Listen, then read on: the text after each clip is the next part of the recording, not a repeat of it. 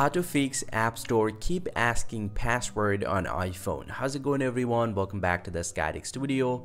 And if your App Store keep asking your iCloud password while you're installing any apps from the App Store, then don't be panic.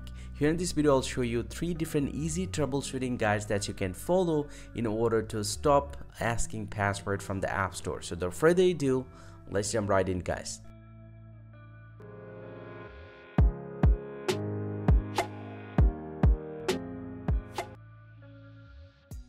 Well, so now to disable the App Store password, first thing first, simply go ahead and open up the settings application from your device and then scroll down and tap on screen time.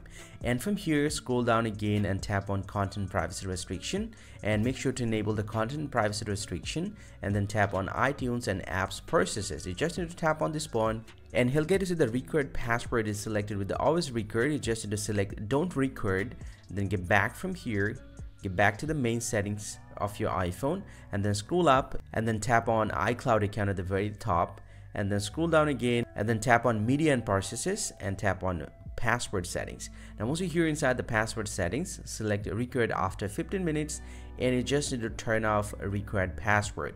And once you've done, just get back from here, get back to your main settings and you just need to do one last thing. You just need to scroll down to the bottom and tap on Face ID and passcode, put your passcode right over here and make sure to enable the iTunes and App Store from here.